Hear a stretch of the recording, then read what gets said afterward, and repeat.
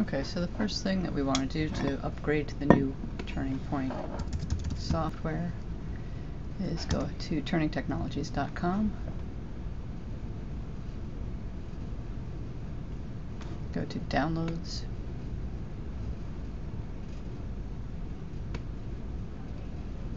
And we're going to go to this Turning Point Cloud. If you haven't already downloaded this software, you go to Create a Turning Account. Then you have to sign up for an account.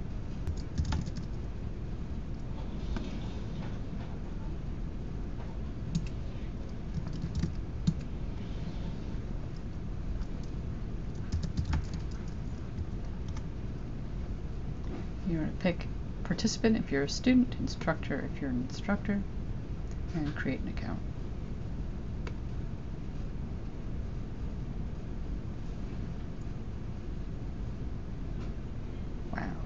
Okay.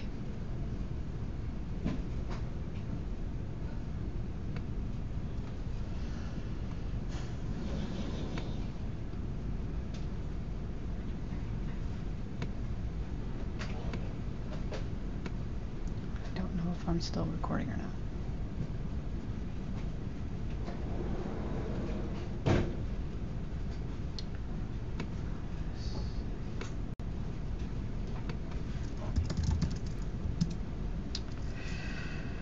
So, um,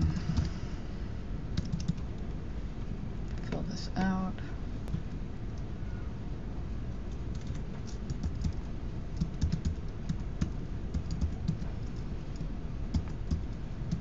This has to have um, a lowercase letter, an uppercase letter, and a numeral.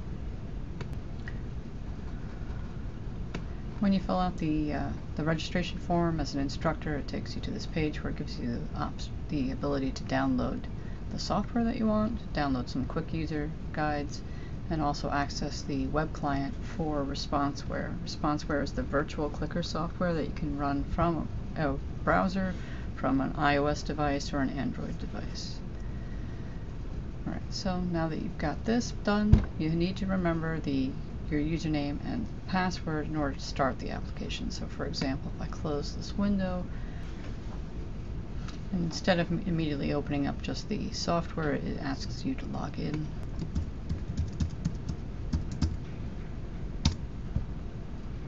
So at this point, everything should look pretty familiar. Obviously, they've changed the coloring and the graphics, but this is the same as Turning Point 5 in terms of functionality.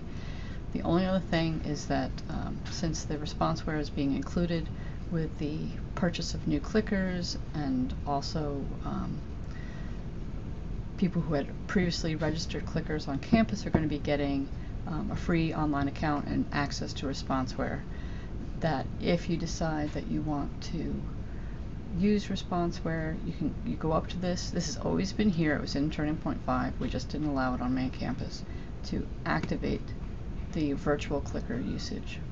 So um, use the default ResponseWare um, server that's in there, your username and password again, and sign in, and it gives you the opportunity to um, get a, uh, a, session ID. Um, I would leave all this as optional, and I would disable participant messaging unless you think that that's particularly useful for some reason. Um, and if you're adding um, question lists, if you're using question lists, this is the only reason that this is uh, of any interest to you because it'll just say question to ABCD and then ABCD at the bottom for where they could answer if you don't have a question list. If you're using um, Turning Point anywhere, type of a format, it won't have the questions by default. But if you do, uh, you might want to put this to display response buttons only if you're trying to make sure people are really in the class. Otherwise, um, displaying the text, images, and content to participants could be useful if you have someone who is, um, what is that, nearsighted. Somebody has a problem seeing the screen, then they can see the question right in front of them. So that is the decision you're going to have to use to make yourself in terms of how you teach in your classroom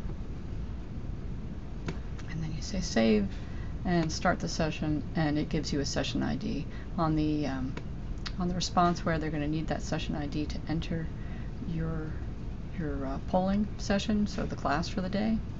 So you can close this now. Go ahead and say I'm going to start the session, and right here, if I hit the um, if I hit the antenna, I have to bring it over here. It shows you the the um, radio frequency channel that we've always used in the classes, and now also your session ID for people with ResponseWare.